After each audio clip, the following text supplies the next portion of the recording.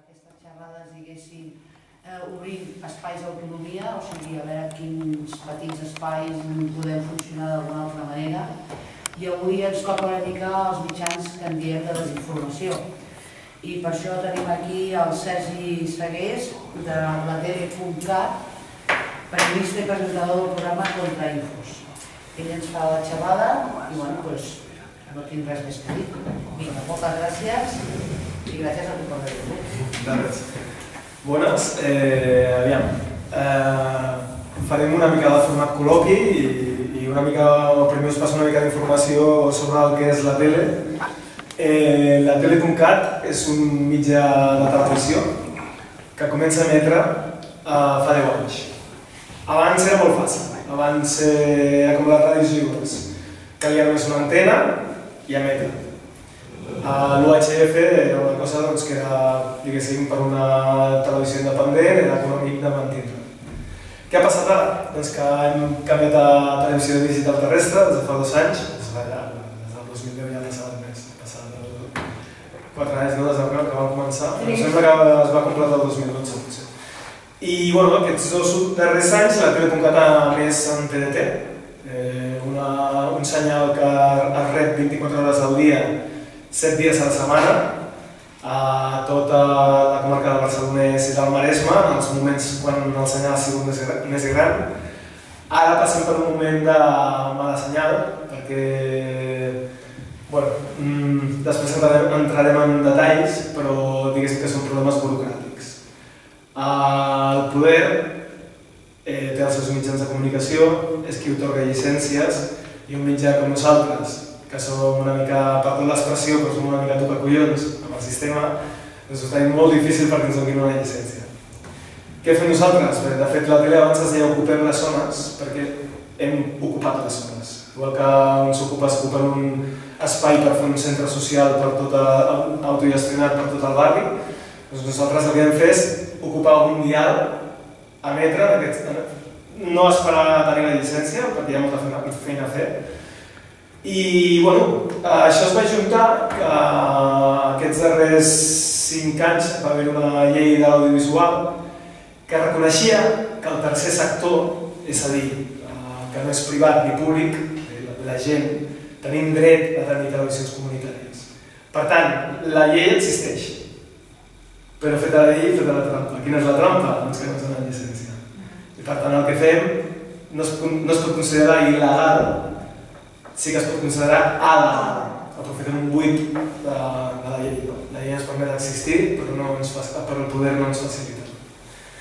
Uh, això per, parlant del tema legal. El tema econòmic, eh, bueno, tres centos del mateix. Pagar una, una, un senyal de TDT implica un pressupost anual que ronda, no sé si heu dit de memòria, per uns 40.000 euros, quan una televisió com pot ser WIC TV té 230 i pico milions a l'any, eh, TV3 té 500, eh, Antena 3 té una realitat de 800, i clar, i, eh, nosaltres 40.000 euros. I el que ens costa reunir-lo, perquè nosaltres, els treballadors de la tele.cat, no cobrem, nosaltres fem això per vocació.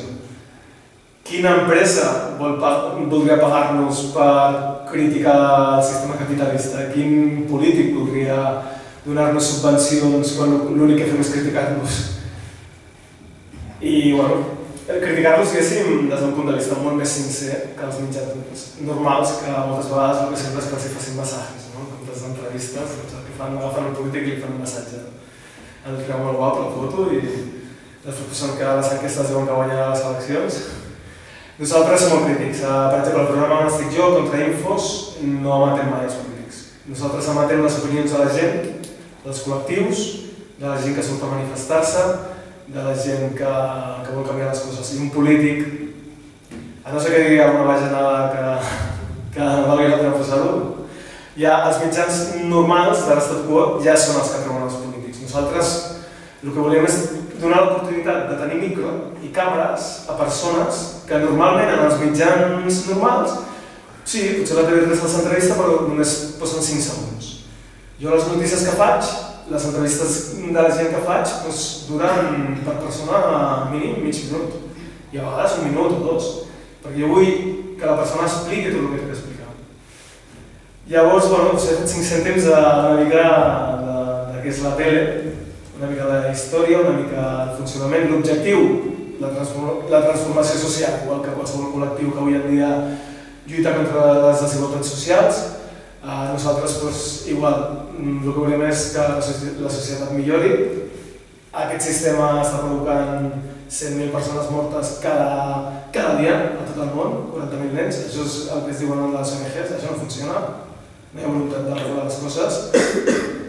I bueno, eh, la idea és poder informar des d'un punt de vista contrari, de contrapoder, de contrainformació. Per això ens diem contrainfos, l'informatiu de la tele.cat, i la resta de la programació doncs, té molts documentals de col·lectius, eh, des de PA fins a Animal, Animalia TV, el que fan la defensa dels animals, amb moltíssims col·lectius que tenen el seu espai i conforme van donant els materials nosaltres podem ocupar la, la parrilla, que ja et dic que són 24 hores al dia, 7 dies a la setmana, hi ha, hi ha molta estona per emetre informació de tots els col·lectius. Per exemple, en el cas de TAC, Eh, sé que ara els programadors estan agafant eh, entrevistes de la vostra web i les estan emetent per. Bueno, eh, podríem, com són pocs, podríem fer una mica de col·loqui. No sé si, si teniu una, alguna pregunta per ampliar algun punt que. Sí, jo, perdona, eh, que pensareu que soc molt dura i molt neòfita, però per poder-vos veure, com us veiem? Vale, eh, ara mateix us he explicat Bueno, anem a entrar en detall. Eh, nosaltres, al principi de l'estiu passat, ens vam presentar l'antena, la policia, perquè la persona que, o sigui, l'empresa que ens permet emetre, doncs diguéssim doncs que és una situació també legal. Llavors, eh, llavors des que ens han presentat l'antena, eh, hem perdut cobertura. Vull dir, seguim emetent, però hem perdut cobertura. Uh, vam posar en marxa un nou equip d'antena eh, fa cosa d'un mes que ens van tornar a tancar i ara l'última antena ja no arriba a la comarca del Maresme, arriba a algunes parts de la ciutat, vull dir, ara és mala època per sintonitzar-los a la TDT.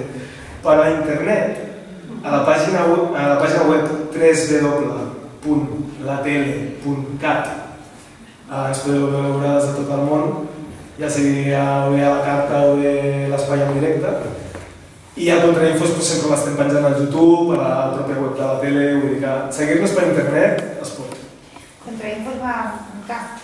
No, en C. Contrainfo. Contrainfos. Infos. Això al YouTube. Això mateix. I llavors el fer per, fer per internet, que representa que ho pagueu, tenim que pagar el mateix, què passa amb internet? No, internet, eh, diguéssim que diguéssim que internet el que t'aprofita són les xarxes socials. Eh, si els col·lectius, per exemple, nosaltres hem fet una notícia sobre, sobre un col·lectiu i aquest col·lectiu fa un tuit dient que hem penjat aquesta notícia i, i fent, ficant l'enllaç a la nostra web, doncs la gent que està navegant per Facebook, per Twitter, per totes aquestes xarxes socials que avui en dia la gent es comunica molt, doncs, sempre poden accedir als nostres continguts. I més en un moment en què la nostra missió de TNT ara mateix no passa pel millor moment. La idea és recuperar, anar guanyant els litigis diguéssim, que té aquesta empresa i poder recuperar terreny i inclús arribar a un moment que puguem arribar pràcticament a la meitat de les comarques de Catalunya, però això, tot s'ha d'anar. ¿Y tienes algún plan para eso? Sí, eh, todo se basa, desgraciadamente en este mundo, pues eh, es un nicho, ¿no? Pero muchas cosas se basan en el dinero y eh, conforme tengamos más socios, más apoyo del público. Ahora nosotros tenemos una audiencia que se mueve por la TDT en torno a dos miles de personas, depende del momento y del día y tal. Pues, a lo mejor pueden ser varios miles o a lo mejor puede ser mil, puede ser medio ya, lo que sea. Pero una TDT, evidentemente, entras a, a, los hogares de... Bueno, cuando emitíamos para Barcelona en Maresma, nos estamos metiendo en la casa de 3 millones de personas. Y te metes tanto en la casa del activista como en la casa del facha, con perdón. Eso es lo bueno de la tele, que te metes. Y estás ahí al lado codeándote con Telecinco y con Antena 3 y con todo esto. Que en épocas que hay menos señal, eh, tenemos un, una web potente, tenemos visitas, tenemos enlaces, pues es una cosa explotable. conforme vayamos teniendo más socios, ser socio es muy fácil. Eh, cuando se trata de colectivos, sí que es verdad que hay, el colectivo escoge la cuota y a veces son cuotas más elevadas porque el colectivo, pues evidentemente, pues va, a usar el canal de televisión para emitir contenido suyo.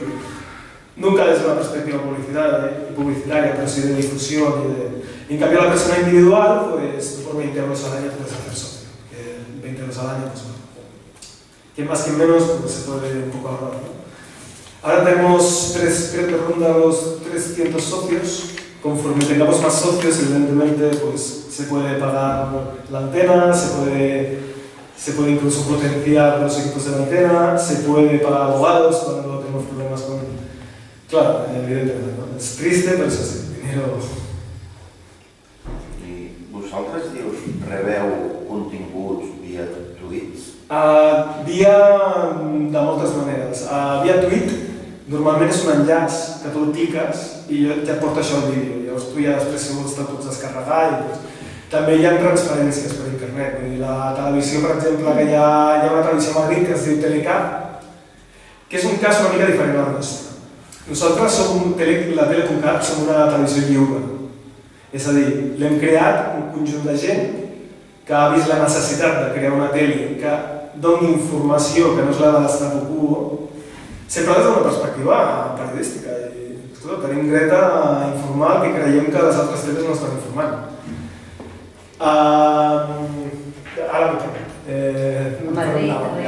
Ah, sí, a Madrid, a Madrid hi ha la, tele, la, la tele, que en aquest cas no és una tele lliure, això és una, un ajuntament d'allà que governa un partit d'esquerres i financia la tele aquesta que diguéssim que ha fet una mica de compensa Telemadrid.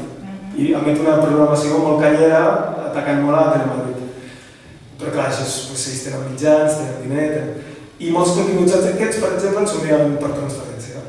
I doncs, tenim aquest programa, tenim fet aquesta tertúlia, tal, doncs, ens l'envien i nosaltres ho, ho aprofitem. Treball- Treballem una mica amb, amb xarxa, tant amb col·lectius que creen continguts, audiovisuals, com és el, el vostre cas, com en altres televisions, i després també emetem eh, continguts que ja no tenen copyright, eh, continguts, pel·lícules antigues, eh, sempre...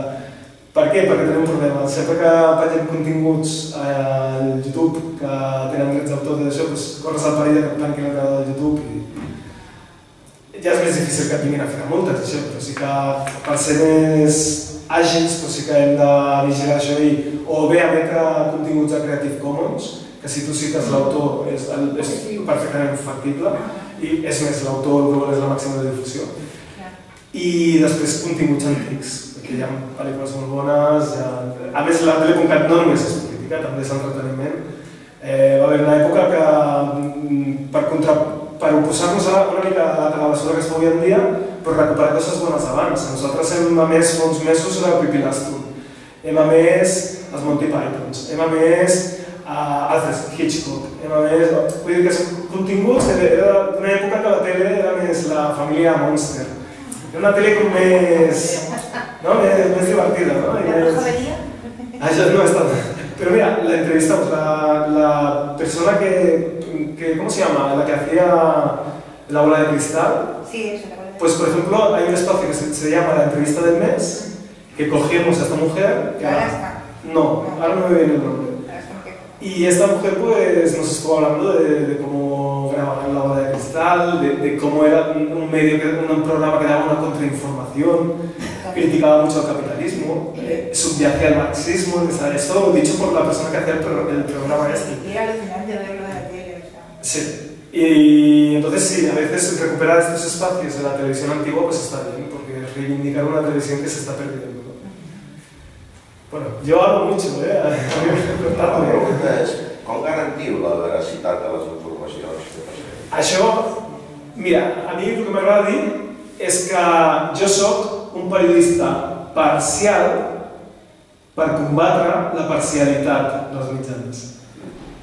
És a dir, eh, l'estatu quo, tornem sempre al mateix, té els seus mitjans, té el seu grapat de milions per finançar aquests mitjans, que tenen un objectiu clar d'influir a la gent perquè comprin els productes i perquè s'empassin una determinada ideologia compatible amb el poder I, i en el cas eh, en el cas nostre, és que m'estenc molt i m'estic ficant una mica nerviós. Estàvem comparant eh, Veracitat. la veracitat, vale, sí. Jo, jo us deia que jo soc un periodista parcial per contraatacar aquesta parcialitat dels mitjans. És a dir, si nosaltres tenim una tele que el que fa és donar la informació que les altres teles no donen, doncs jo no puc ser imparcial. Jo estic donant la informació, doncs jo estaré al costat de TAC, jo estaré al costat de... Eh, ho reconec, soc parcial perquè estic en contra del sistema. Dir, no, no des d'una perspectiva que el, però sí que vull millorar el món. Vull, vull que les coses que es fan malament que canviïn. I això, I això ho he de fer des de la parcialitat de l'activista que treballa Vale. eh, per millorar el sistema. Jo O entenc, per jo, combatre. jo entenc que diguis que ets un periodista parcial perquè la imparcialitat penso que no existeix. No existeix el periodisme. Però la veracitat és una altra cosa. Sí, sí, jo no tinc... Teniu alguna manera de, Sí. de comprovar que no estan venent la moto quan, quan no sé... Sí, això ja entra una mica dintre de la, del desenvolupament periodístic que tu pues, has dades que et diuen. Per molta simpatia que tinguis amb un... Si hi ha una cosa que realment pues, compta amb això, pues, compta amb això. No? I sempre mm, des d'un punt de vista professional i ètic, però és que s'ha de reconèixer que són parcials. Sí, sí, sí, això està molt Per bé. atacar la parcialitat dels mitjans que ja existeixen. Bé. Llavors doneu una altra visió de la notícia que ens donen La que no altres. Que es venen, un altre exemple. Exacte. Lo d'Endesa t'ho enfoca d'una manera i vosaltres, no, mitjançant informacions, no, doneu una altra visió perquè la gent doni més compte. Això mateix. Perquè els mitjans normals, què passa? Això ho parlàvem abans. Si tu te- tens una tele que a Endesa t'està ficant anuncis, que per cada anunci que tu emets et paguen 9.000 euros o 10.000 euros, doncs és difícil que després quan Endesa faci alguna cosa, com per exemple el que estan fent ara amb els rebuts, que és un altre cop mà normal, que, bueno, doncs, quan fan una cosa així, doncs, si tu ets un mitjà que estàs rebent diner d'aquesta empresa, doncs ja no, ja no la critiques. Eh? Sí, fas veure, critiques una mica, oi, la llum com està pujant, però bueno, no, no, no entres en la profunditat. Què fem nosaltres, per exemple, concretament en aquest tema? Nosaltres estem denunciant, per exemple, que ara mateix s'acabi d'aprovar l'impuesto sobre el sol. O sea, el sol es, es del gobierno. O sea, toda la gente que se ha instalado placas solares todos estos años para recoger la energía del sol, para convertirlo en electricidad, per ser més sostenibles, per millorar el medi ambient, per, per estalviar diner d'aquesta manera, ara ja ho podem fer. Ara som més a compte a endollar-te a Endesa, a les nucleares de sempre, perquè t'han ficat aquest impost gravant les plaques de sol. Que, que, si ens trobem una perspectiva així, des de la tele.cat no ens cauen els pèls a la llengua per dir que Endesa són uns lladres i que el govern són lladres i que això no hi ha dret que t'estiguin penalitzant el teu consum ecològic. El que hauríem de fer és canviar-nos aquest model energètic.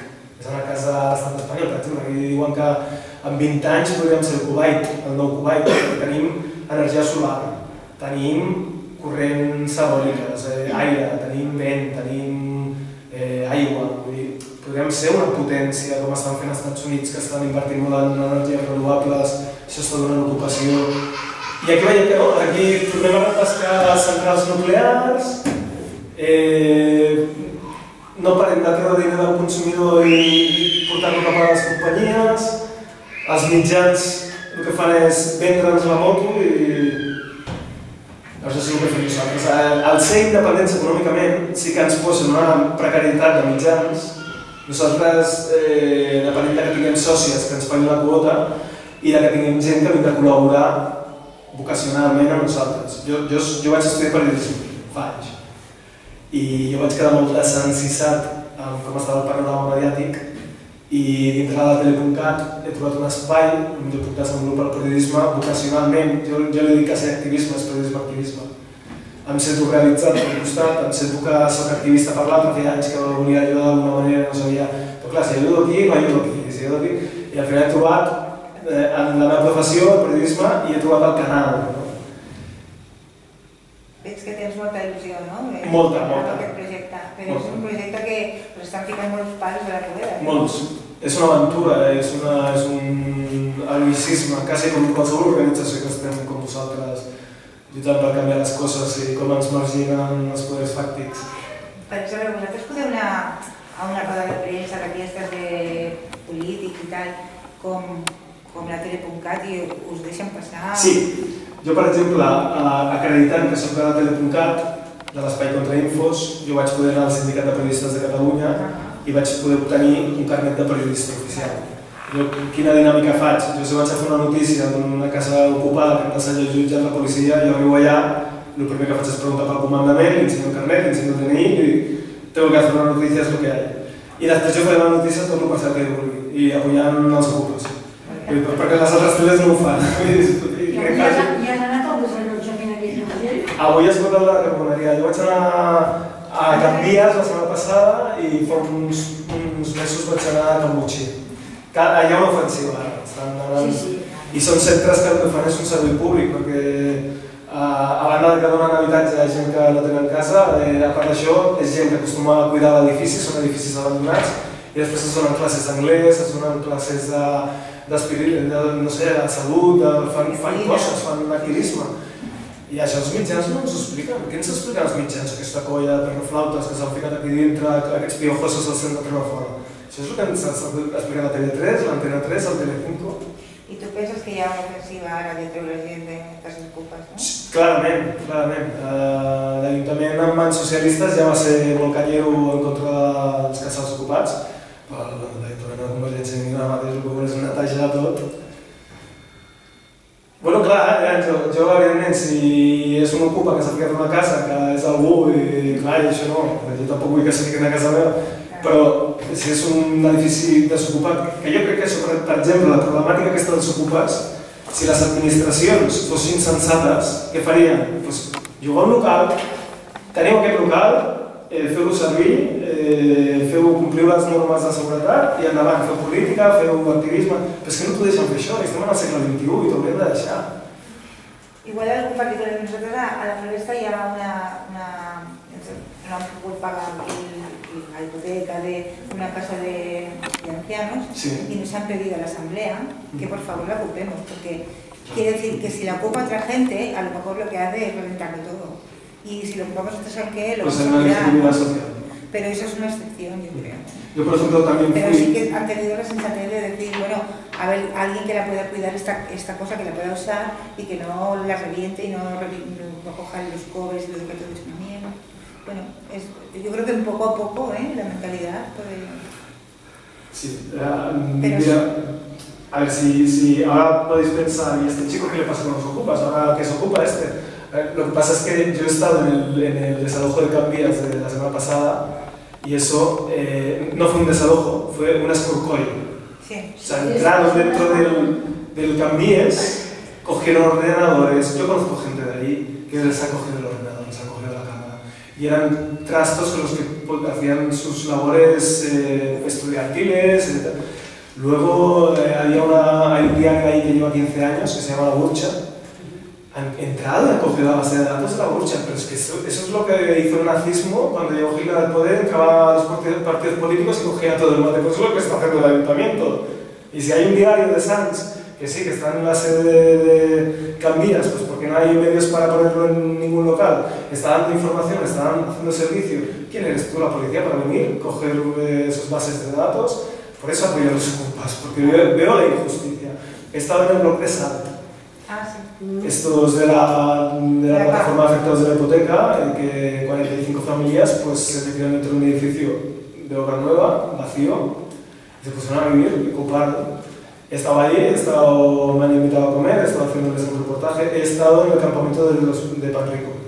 Ah, que llevan cuatro meses alojados en eso. Es que son experiencias, o sea, yo no cobro, pero yo aprendo tanto cuando voy, y aparte es, es tan sincero cuando voy que yo, estoy de su parte, estoy, estoy con ellos, y, y sin perder esta, evidentemente, no, no voy a poner una cosa exagerada para ayudarles mucho, pero sí que les voy a dar micro y les voy a dejar que hablen todo lo que quieran. Por ejemplo, mis noticias, yo no pongo la voz en off y pongo 10 segundos de declaración, no. Mis, mis noticias, yo grabo muchas imágenes y siempre pongo eh, la gente que he entrevistado ocupando toda la noticia. Ellos hablan. Yo, yo quién soy para hablar. Llevan cuatro meses en un campamento y voy a, voy a ser yo el que hable más. No, van a hablar ellos. Otro periodismo. És distinto. Perdona, llavors vosaltres feu uns informatius en unes hores determinades, Eh, com fa la tele normal o no? El, el nostre informatiu, el Contrainfo, s'emet cada nit, un parell de vegades, i després als migdies també, i és setmanal. I durant tota la setmana s'emet el mateix. Per una falta de mitjans, ojalà poguéssim fer-ho cada dia, però amb prou feines aconseguim... tota la gent és voluntària perquè treballa. Tota I llavors la gent té d'altres feines per poder sobreviure i dedica unes hores a això, no? Eh, a tots ens passa això i, i a vegades el rendiment de la teva feina no et permet dedicar-te a tot el que t'agradaria a la tele. No? Però bueno, com som molts, la unió fa la força i quan no pot un, pot l'altre. I no se sap mai, sempre parlem dins de les assemblees de la tele, no sabemos cómo, pero las cosas siempre salen. Aunque estén muy difíciles, pero siempre salen adelante. Y de momento, pues mira, seguimos con el optimismo este dentro de los momentos difíciles. I les darreres televisions de, del país, de, d'Espanya, Sí. tenen tants problemes com vosaltres a nivell d'antenes? De permisos? Ah, els canals normals? No, no, no, els canals... Ah, lliures. de com, com... bueno, nosaltres som únics a tota Europa. Un canal lliure com nosaltres, a tota Europa no està. Ja t'hauries d'anar a Sud-amèrica. Les teles que hi ha aquí sí que és l'exemple que he posat abans. Petits municipis on s'ha financiat, tal partit han financiat tal cadena de televisió que vol competir contra el Telemadrid del PP, no? per exemple. I tots aquests evidentment tenen més facilitats de llicències tenen més facilitats econòmiques. Nosaltres, Com vosaltres no, no, no n'hi ha... Hacem amb una mà darrere. Ja és prou miracle que portem 10 anys. Sí, Sí. para lo que estás explicando, sí que És quasi un miracle. yo creo que esa, esa, esa ilusión que le habéis puesto al asunto. porque Sí.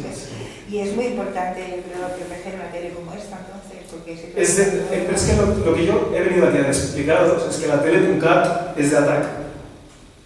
La tele.cat es de teleanimalista. La, la tele.cat es de la paz. La tele.cat es de cualquier colectivo que esté luchando para mejorar la sociedad.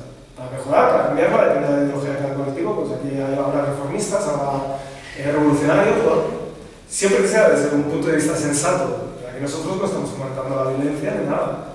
Entonces, que están cargando los antidisturbios y la gente, pues para protegerse, pues ha pasado de la gamonal de Burgos, ¿no? Pues esta violencia, pues quizás, si no se hace daño a nadie, pues quizás quemar un container, pues es mucha más violencia dejar morir niños en África que quemar un container o echar a una familia de su casa. O no socorrer a los de Ceuta. O no, esto es una barbaridad.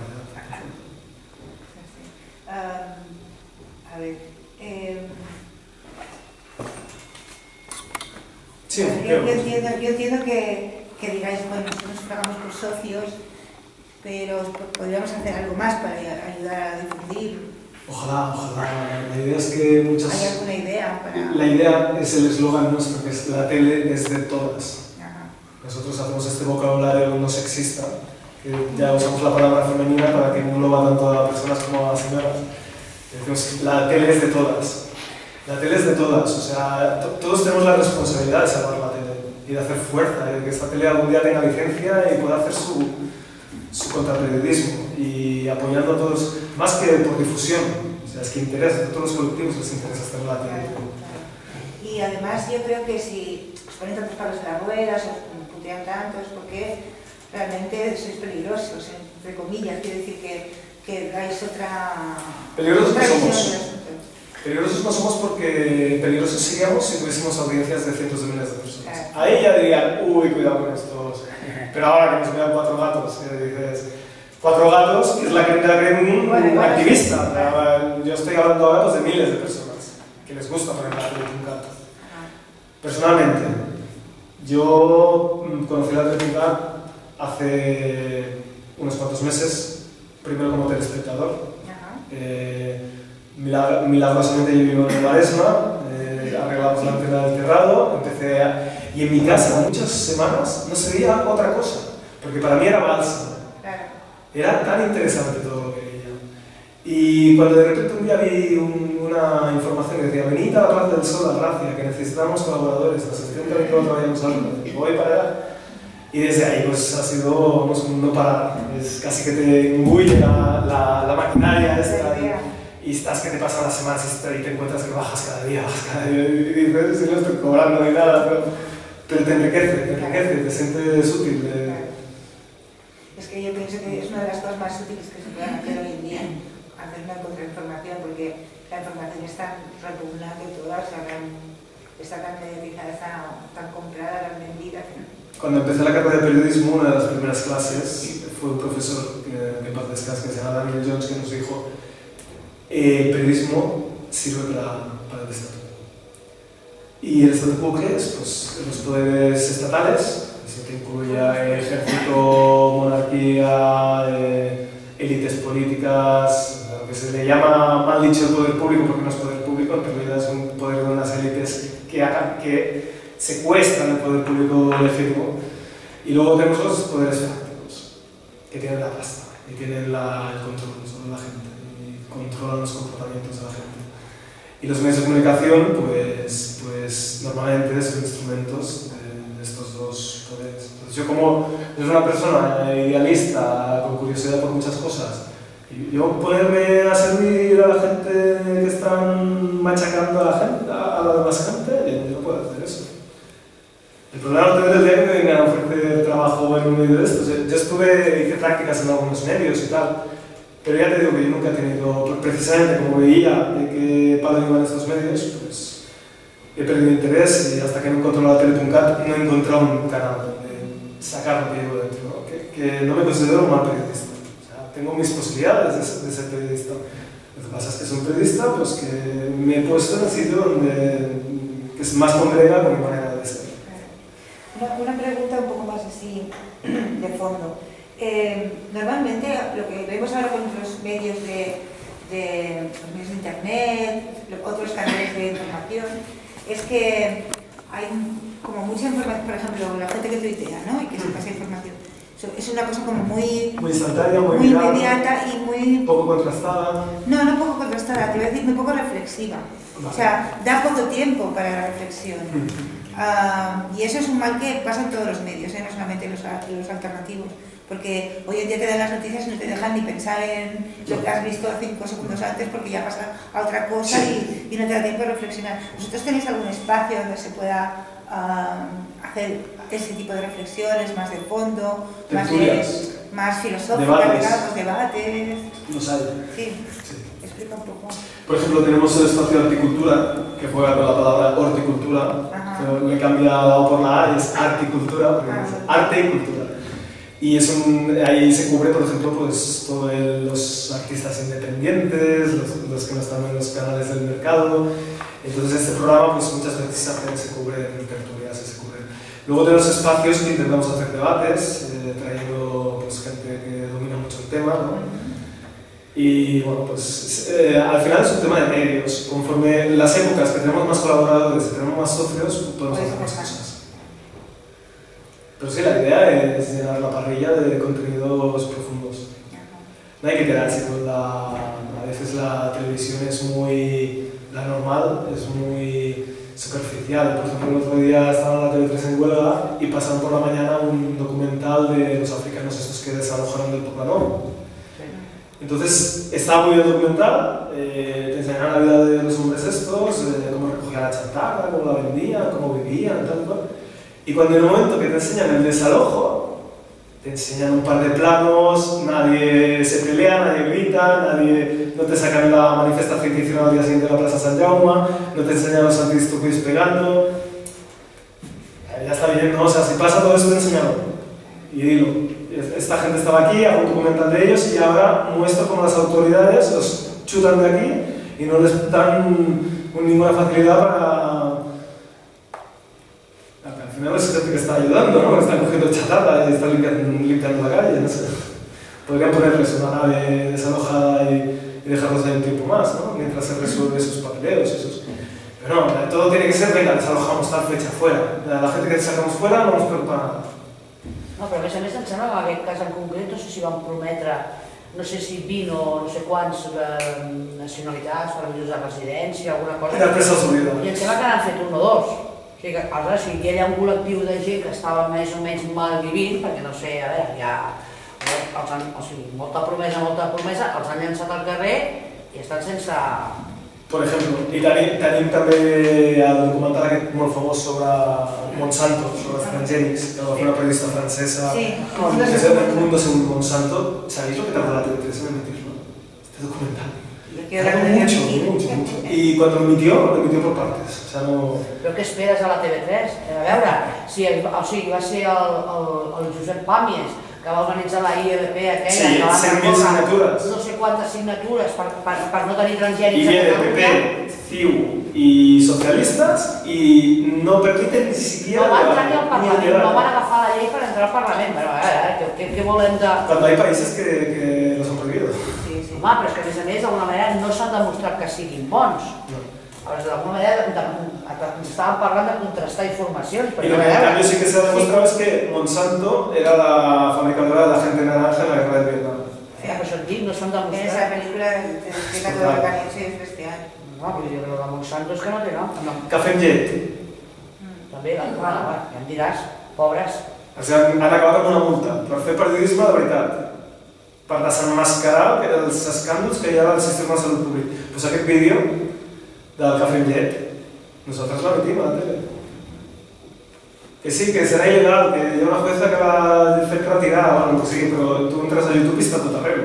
Que si està fora, pues també el ficarem a la tele i ja està.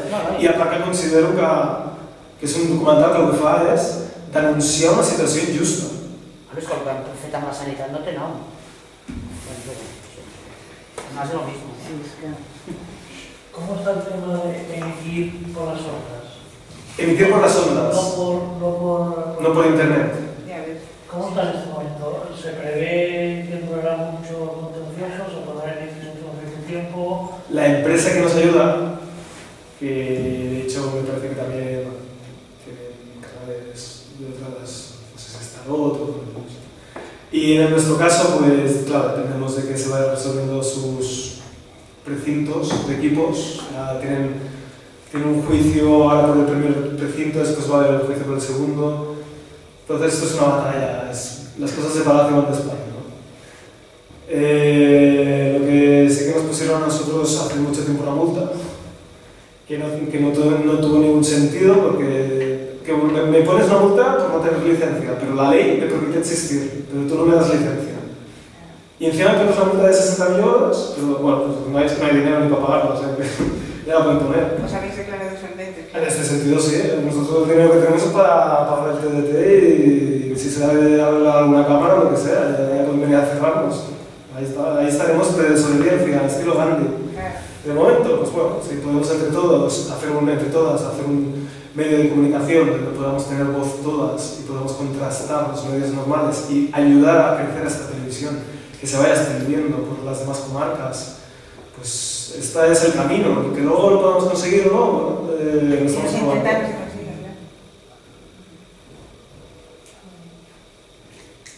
no teníeu idea de quina franja de gent arribeu?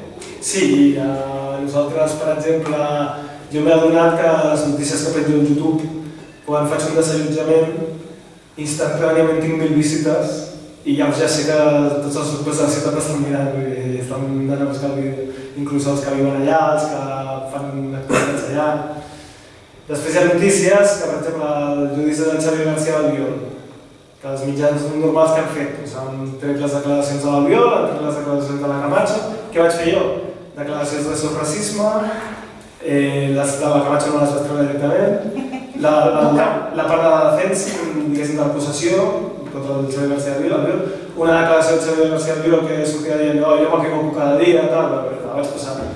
I, i, bueno, i, i és una manera de contrastar totes les informacions del judici de Xavier García Albiol que ens hauran passat les teles normals, que hauran tractat, tractat el tema amb poca profunditat, eh, gent del PP i els consells d'administració, vull dir, no, tampoc poden criticar, al final acaba sent una cosa... I aquest vídeo, doncs, potser tinc 230 visites, però el de la casa ocupada sí que m'han mirat mil persones. Després el vídeo aquest de la manifestació en suport a la Gomenal, eh, que vam tenir la sort d'estar davant de la comissaria en el moment que, que li van llançar les cadires, Ah, sí. No, no va prendre mal cap a gent, però els que van fer la guitza i ho vam gravar. El nostre vídeo ha superat els centenars de milions de visites. I la televisió espanyola, una cosa que hem criticat, ens va agafar el vídeo nostre i el dia següent el va, met- el va emetre durant tot el dia pel canal 24 hores, per tot el món. que- sense citar-ne ni sols, perquè les el nostre material pot agafar traducció espanyola, però citant el que nosaltres som els autors. Això és el que diu Creative Commons. Es el- el- la comunidad creativa, ¿no? O sea, citamos quién es el autor, respetamos el autor i ho emets. I Televisió Espanyola es va saltar tu era, va veure el nostre vídeo per internet, el va agafar i, i després es, es fiquen amb la pirateria i tot això, però és que ells són pirates, són els primers que són pirates. Si no es podeu denunciar vosaltres amb ells? Eh, ho vam denunciar, hem, diguéssim, no judicial, no hem, hem pres cap, perquè això que té els seus costos i això, però sí que és veritat que em sembla que es va enviar una carta de protesta a la televisió espanyola i després per les xarxes socials doncs, es dona una visibilitat, a, la, a la problemàtica. No? Sí, és que a més avui denuncies per sobrecosa i tens que posar més diner per denunciar. Que nos tienen pillados por todos lados. Pero bueno, sí se puede, teniendo un medio de comunicación sí se puede denunciar de otra manera, ¿no? Eh, hombre, es una ventaja, porque que pasa una cosa en la ciudad que no te lo va a enseñar un medio, porque es más importante sacar cinco minutos de Messi y de no sé qué de la infanta y no sé qué. Y entonces la casa que antes ocupaba tal, tal barrio no, no llega a la categoría de noticia, pues si yo voy y lo cubro y tenemos una tele que día siguiente ya lo está emitiendo para toda la ciudad, evidentemente estamos cubriendo un vacío informativo que con lo cual enriquecemos el agregado total del- de, la oferta informativa. ¿no? Además eso demuestra que cómo seleccionan desde el poder las noticias, ¿no? Mucho. Como callan unas cosas y, y emiten lo que de cuatro tonterías normalmente. ¿no? Vayamos, Anda que no nos anda la, la, la infanta. Sí, vale, muy bien, va a declarar, pero que pesa día tarde y noche hablando de lo mismo, de si bajar las lámparas, si no bajar. ¿Qué coño nos importa eso? un ejemplo. Pero, pero pum, pum, pum, y es, y es otra manera de no hablar de otras cosas que... Eh, porque iba a poner el ejemplo de televisión española. ¿Has acabado? Sí, sí, sí. Se me ha ido, porque pienso, pienso muchísimo en las cosas. Un ejemplo de, estabas hablando de... De, de, la, Ah, sí, de- de la información que no... Vale, sí, os, os iba a explicar un ejemplo concreto. Claro, es que son muchas cosas, digo, yo vengo aquí sin guion, pero está muy claro lo que hay que explicar. Eh, Televisión Española, eh, lo que hizo en esta ocasión, eh, pues bueno, tenía que ver con, con esto. Ah, sí, eh, los- el Consejo de Políticos hizo una ley que cuando se está haciendo el telediario, pues los políticos pueden entrar dentro de los ordenadores de los periodistas y leer lo que van a publicar en el telediario. Esto es censura previa. O sea, la Esa es censura tiene que ser después. O sea, yo emito una noticia, tú crees que no es correcta, me denuncias y hay una censura ya a posteriori hasta que se solucione si la noticia es legítima o no. Pero, a priori, sea, es en contra de la ley de prensa totalmente. Que lo- Que los políticos puedan entrometerse en la labor de los profesionales. Cuando tú tienes en Inglaterra una BBC que es independiente, que se financia con el, hay un impuesto de televisión que los ciudadanos pagan. Y esa tele es independiente de poderes fácticos y de poderes políticos. Y luego, vale, es más difícil que esto, pero sí que, porque defiende el capitalismo pero también hay anticapital- anticapitalismo en la BBC, como se encuentra espacios de contracrítica. Por ejemplo, eso sí que es verdad que en Inglaterra la oferta comuni- comunicativa pues sí que da mucho juego a la hora de documentales, a la hora de contrainformación, dentro de la propia información del poder, ¿no? Pero es que aquí el panorama es muy triste. Y nos tienen, vamos, como rebaños de ovejas. Ahora queremos que piensen esto, ahora queremos que piensen lo otro, ahora interesa eh, agitarnos por este tema, ahora interesa dejar de hablar de este tema. Però això passa només aquí o passa a tot A arreu? tot el món. Però aquí potser més o no, o igual, No. perquè la sensació és com que estem, o estem despertant ara o, o estem més matxacats. No, aquí hem tingut la sort que Europa, això si tu agafes el Rafael Correa, el president d'Equador, el que et dirà és que les televisions que té ell allà a l'Equador són totes teles propietats de bancs. Tots són teles privades propietats de bancs. No tenen tele pública. I ens diu, quan ens veu a nosaltres, des de la distància ens diu quina sort teniu a Europa, vosaltres, que teniu teles públiques, que almenys estan allunyat un certa, una certa allunyament dels poders fàctics. No? no tot, però, però sí que és veritat que hi ha una finançació pública que permet donar una mica més d'aire. Te la com menys. Sí. menys perquè els poders fàctics, en aquest cas els bancs, a veure si la televisió pública emet alguna que no li interessi al banc que sigui, hi haurà No, problemes. però per exemple, la televisió espanyola, ja, que ara la televisió espanyola pues, és- està pel PP i tot això. Però per exemple, la televisió espanyola i la BBC, la televisió espanyola ja no té anuncis i la BBC no té anuncis. Per tant, ja són dos teles que dintre de les seves imperfeccions, però ja no, ja no estan tan agafats, no? TV3, en canvi, sí que té molts anuncis de caixa panerers, de de la caixa, de, de, de, poca informació antisistema trobades a TV3. Claro. Depende de la publicidad que tú contrates, ¿no? Exacto. ser independiente de la es un paso. Exacte. Pues no sé si... I això també, perdona, el que estàs dient, no?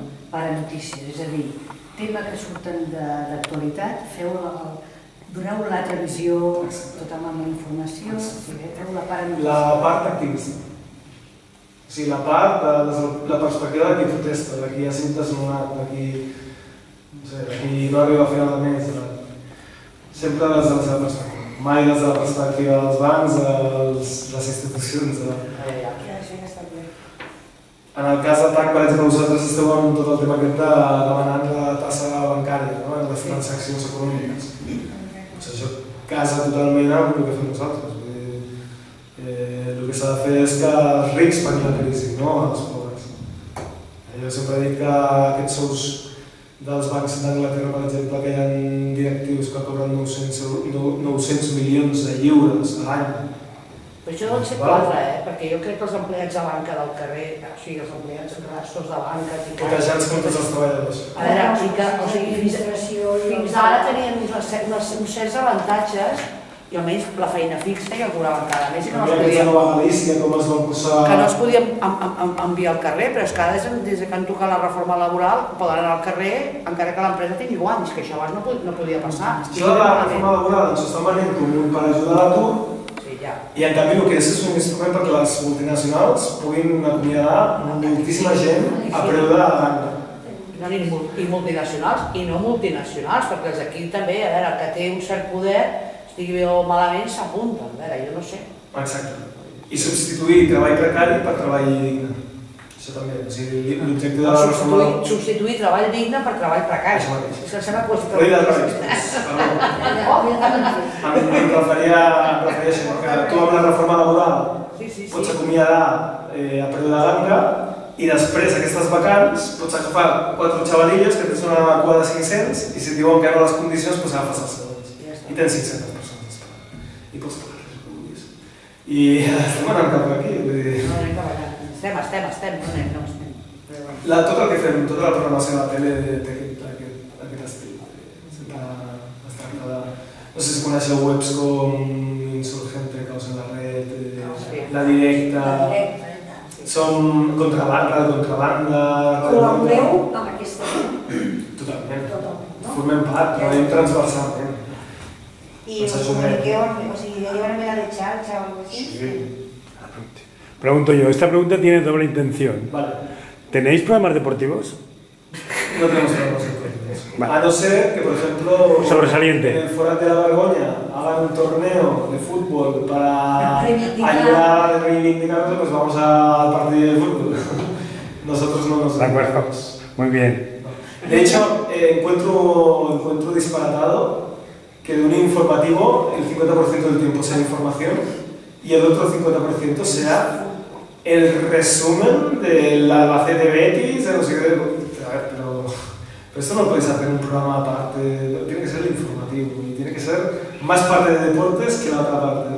A mí me gusta el deporte, pero lo que no me gustan son los sueldos que se pagan. eh, Un cuarto del informativo tiempo, otro cuarto Exacto. deporte, medio deporte y el resto... En medio, eh, en medio de un programa del clima que se ha animado aquí, que se ha hecho frío ahí. Y es- conexión en directo aquí que acá hay que una riguera se ha desbocado. Teniu capacitat per fer notícies internacional o bàsicament En fem a vegades, però això depèn de... o bé... no? A vegades documentals que fem i els subtitulem i els passem i són documentals internacionals, per exemple, hem emitit molt aquest de la toma de take de la Naomi Klein a la Ah, sí. fàbrica aquesta d'Argentina que van Sí. col·lectivitzar els treballadors. Eh, és un exemple, és són programes internacionals, són documentals fets eh, fora d'aquí i els subtitulem i els passem. Vull dir que sí, estem oberts, tenim aquesta vocació de... Si tenim un col·laborador nostre que dona la casualitat de fer un viatge i vol cobrir alguna cosa, doncs, doncs tenim un corresponsal.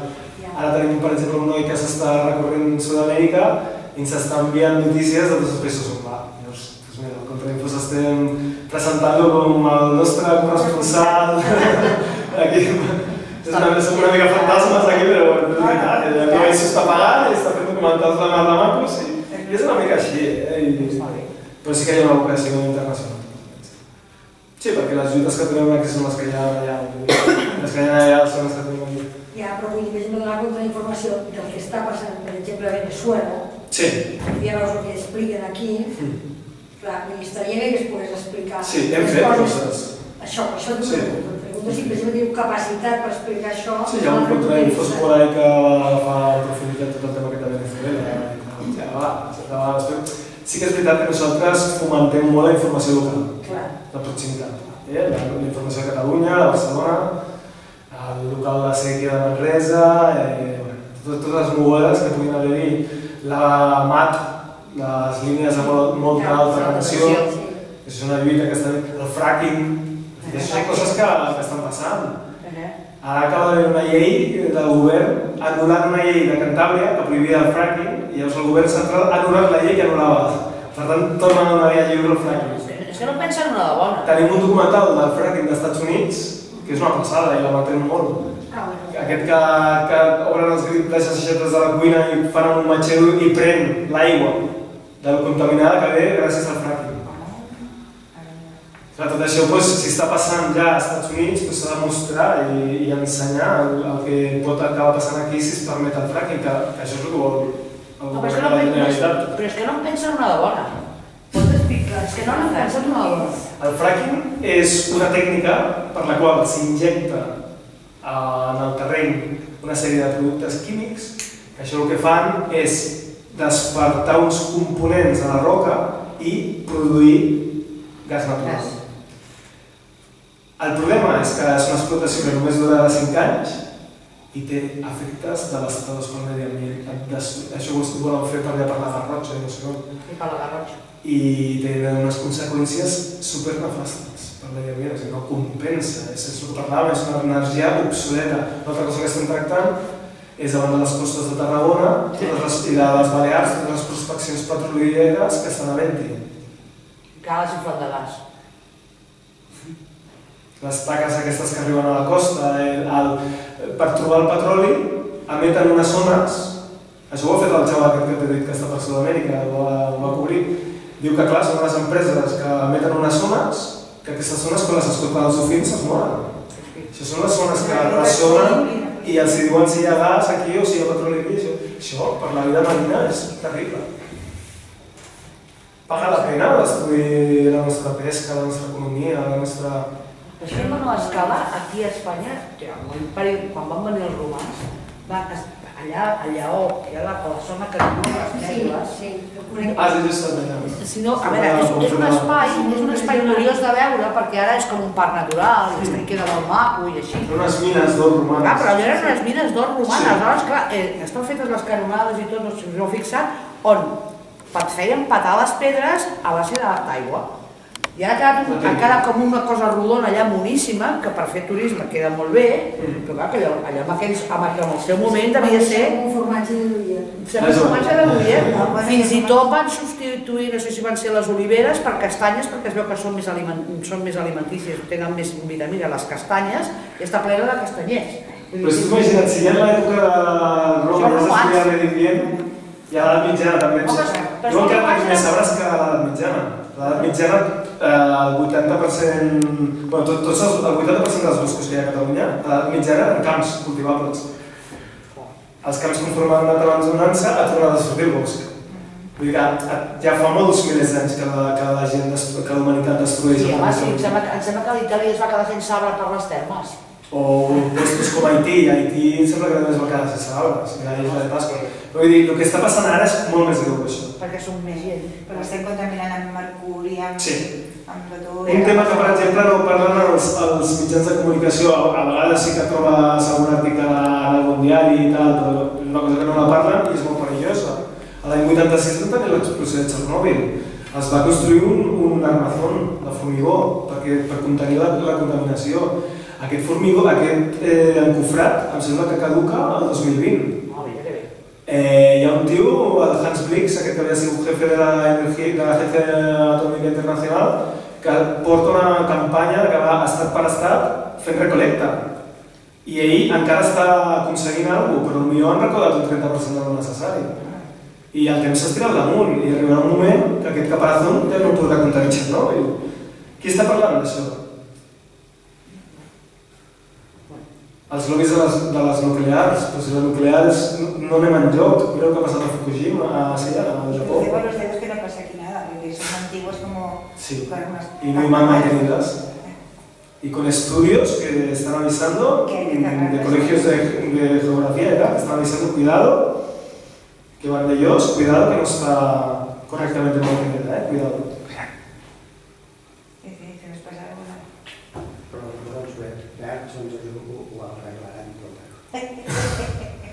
Que es, que es complicado ¿no? sustituir...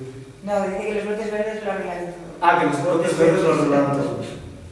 Però una pregunta primer, disculpar-me que he arribat tard. Dir com, com es podem sintonitzar? Sí. Uh, el que estava explicant eh, a l'audiència és que eh, ara mateix passem en un molt mal moment a nivell d'agafar-nos per TDT. Tu pots provar a quin barri vius.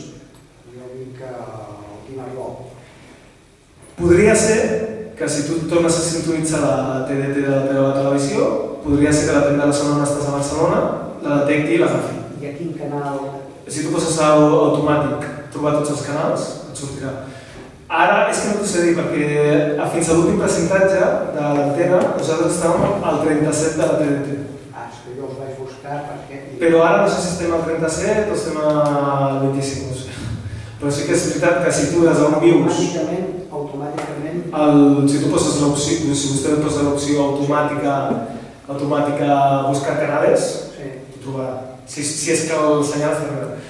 El que estava explicant que ara mateix, que tenim aquestes dificultats amb l'antena, que ens l'estan presentant cada dos per tres, cada cop que fiquem una nova antena doncs és menys potent i doncs ara mateix és un bon moment per seguir la tele.cat a través d'internet. www.latele.cat La, la tele.cat tot junt. I és la meva manera. Però sí que és veritat que pots fer la prova aquesta de la televisió, de Sí, no, I millors temps vindran, que confusta. Que millors temps, millors temps vindran, que, que arribi un moment que sigui molt més fàcil, uh, que, que tornem a tenir una... Ja et dic que vam arribar un moment nosaltres que agafàvem tota, tot Barcelona, tot el Maresme, això t'estàs ficant dins de la casa de... Què pot haver-hi a la ciutat? Potser t'estan agafant, si hi ha un milió i mi- eh, 600.000 habitants, doncs potser t'estan agafant un 70%. O sigui, això ja és molta gent. I després la comarca de Maresme també és, el litoral està superpoblat. Vull dir que ja, ja, ja estàs arribant a molta gent. Per això sí que és veritat que estem barallant-nos amb aquesta problemàtica. Ja dic, per un costat hi ha una llei, repeteixo, que permet l'existència de les teles comunitàries i per altra banda el poder no ens dona llicència, perquè no li interessa, perquè, perquè ens dona llicència si el que farem és criticar-lo i... És que això és la democràcia. Això hauria de ser la democràcia. No, no, és que això que tenim és... És aquesta és Ah, aquesta és la seva democràcia, sí. Li diuen democràcia no ho és, però la democràcia són els padres, no? són, són refrens que es diuen. Eh, I seria tan fàcil com poder-nos comunicar amb algú del Consell Audiovisual de Catalunya, amb les xarxes socials, ja veiem que, que no teniu una ànsia, vull dir que el que esteu fent és, és complementar una informació que no s'està donant en els mitjans tradicionals, estem sent un contrapoder, eh, estem donant, la, donant veu a qui no té veu, i per tant, igual que l'Ajuntament hauria de finançar espais socials, els ocupes, doncs també hauria de finançar una tele que pugui explicar les coses diferents. Què passaria? Que si ens financés econòmicament ens controlaria. Nosaltres no demanem això, nosaltres demanem la llicència. Eh? Que siguem tan legítims com pot ser un Telecinco o pot ser una Sexta. O pot ser una intereconomia, o un 13TV, que ells són legítims, tenen, tenen llicències. Nosaltres som alegals, i aprofitem un buit de la legislació. Tu creus que algun dia la donaran? És difícil. Jo no sé perquè jo veig una tendència cada cop més totalitzadora des del poder. El poder sempre té tendència a tot el que no controla, doncs voler-lo controlar. I la... Eh, jo optimista no soc massa, la veritat. En aquest sentit, el que sí que soc optimista és que hi hagi una revolució de molta gent fent- fent-se socis de la tele, molts col·lectius, i tota aquesta pinya doncs, acabi obligant a les administracions a facilitar-nos la llicència, perquè si formem part de la tele eh, mil col·lectius i mil socis d'art, doncs, efectivament el conseller ens haurà de donar una llicència, perquè Clar. una altra cosa seria faltar la, no sé, la llibertat de la premsa, no? I la... No, quan us han presentat l'antena ha sigut en, amb una ordre judicial. Sí, la, és la jefa de telecomunicacions de la secció de telecomunicacions dels Mossos d'Esquadra. Es va presentar allà. No sabem si és perquè estava amb nosaltres, no sabem si és que perquè l'empresa, doncs, evidentment, està emetent des del Tibidabo, no emet des de Coixerola com totes les empreses. Són canals de televisió que no, que no tenen llicència. Eh, eh, bueno, és una mica així doncs, que, que, que està fent aquest servei per diversos canals de televisió, però no acaba de ser il·legal, però tampoc acaba de ser legal, vull dir, és tota una lluita burocràtica, no? Però jo aquí m'agrada recordar casos com el de la TV3, que quan va començar a emetre l'any 86, Televisió Espanyola va emetre interferències. L'Estat no volia que Catalunya tingués una sèrie una tele pròpia. I, tele, i, te, I TV3 no es va esperar a tenir llicència de l'Estat, va començar a emetre. Pues això és el mateix que estem fent nosaltres. No hem esperat a tenir llicència del poder per començar a donar informació que per altra banda s'ha de donar nosaltres qui l'està donant. I si emeto algun contingut que, que em puguin venir a dir-me escolta, això fomenta la violència, tal, bueno, doncs el mirarem i si realment és una cosa que, vale, doncs, potser sí, tal, no, doncs es pot parlar, tal, però dona'm una llicència, que jo estic fent periodisme. Sí, a més és el que tu dius abans, que, que una cosa és que tu vagis a buscar la informació per internet, una altra cosa és ficar-te dins de les cases, que és el poder de la televisió, que Sí. se mete dentro de las casas. Sí. ¿no? Y, y se dice que un 70% de las personas solo se, ah, se informa con la televisión. Sí. ¿no? Y entonces, bueno, eso es un, po- un poderío que es... Bueno, se informa, ¿no? Se desinforma, se desinforma. De Bueno, desinforma. o sea, se No, informa sí, con la però, televisión. però que d'alguna manera jo crec que és important el, el paper aquest, no? Una cosa és que tu ensenyis la tele a casa i estàs fent, doncs no sé, estàs preparant el sopar, per entendre'ns, i tens la Ah, tele... fet, pot fer mal de sopar. No, t'estan donant un missatge, Sí. que t'agradarà o no, altra cosa és tenir que anar tu a internet a mirar-lo. Ah. No perquè costi anar a internet a mirar-lo, però d'alguna manera ja has, has d'anar, has d'anar, Sí. invertir un Sí, temps. Mantens, a veure, internet et permet mantenir un contacte amb els que ja et veuen i et busquen i Sí, ja sí, volen sí, sí, però trobar-te i... Però que Yo si pienso que la idea importante de la tele Ah, es, así- Es es que esta. te expandes, entras que- en la casa de mucha gente y gente que a lo mejor no tiene ni idea de cómo está. la situación Claro. o, o sabe algo, pero Que de repente de repente "Vale, los ya, ve que y, tienes- hostia, qué interesante esto y a lo mejor se engancha. Clar, és que és això, comprir una tele, encens una tele o alguna per sentir. Perquè jo la informació ja, ja, ja també la vaig a buscar. ho vas sentint, no? A clar, jo, però que ho vas, fa. però... Jo la, la informació ja l'anem a buscar alguns de nosaltres, però Sí, sí, no. hi ha molta gent que no ho fa, això, i llavors és molt interessant que... Però nosaltres, per exemple, el que parlàvem abans, tots els secrets que em preguntàveu si treballàvem en xarxa amb els altres mitjans sí. contrainformatius, no? Però nosaltres, el nostre informatiu, quan acaba, passa una llista de mitjans que pots anar a internet a consultar-los. Si posem caos, posem la directa, posem rebel·lió, posem insurgente, posem eh, contrabanda, posem tot, tot el que hi ha, tot el que hi ha. I, i tots estem jugant en, en el mateix equip cadascú amb les seves tendències ideològiques que, que això, doncs, bueno, qualsevol lluita política doncs, hi ha les diferents Aquesta és tendències. la riquesa. Però la tendència aquesta, en general, com es poden definir? Doncs les coses les veiem que no van bé, veiem que les coses, eh, si no les lluita la societat, si aquella dona no s'hagués negat a aixecar-se d'aquell seient d'aquell autobús, ara mateix no hi ha un president negre als Estats Units, que no és ningú santo, però, bueno, un president Sí, que, no, no, que, que ha canvi- ha canviat molt als Estats Units, per exemple, per, per, Sí, una persona no. negra pugui ser No, president. no, als Estats Units i aquí, a veure, entre tot, per exemple, el que són les relacions homosexuals o Per coses, o gent que d'alguna manera no estava segons la norma, ara, ara se les miren respecte. Mira, l'altre dia perquè, el futbolista d'Anglaterra, eh, això ha sigut per fases. Primer van començar els artistes, després van començar a sortir els polítics, ara estan sortint d'esportistes, No, no, perquè s'està normalitzant. Clar. Això és important i és com l'aspecte, bueno, estigui bé malament, el tema feminista. Eh? No es miren avui en dia, no es permeten segons quin, quins jocs de paraules es permetien fa 30 o 40 anys. Avui dia no es permeten. O la publicitat, No, la publicitat, tot i així, tela. Tot i així ja hi ha anuncis de sabó, de sabó de casa rentadores que treu un home. jo veig que en aquests punts també està començant una altra vegada la, la, una evolució, no? Sí. Veig que en quant al tot això estan, estan contraatacando Sí, sí, una ofensiva de la dreta, Pero no solo en España, ¿eh? yo creo que en toda Europa. el neoliberalisme és així. És... Nunca descansa y por eso es una heroicidad lo que estáis haciendo. yo. Porque Somos- ellos no descansan nunca. No, de no ser para por todas. Nosotros en nuestro caso podemos considerarnos, formamos parte de la resistencia, es el que llaman.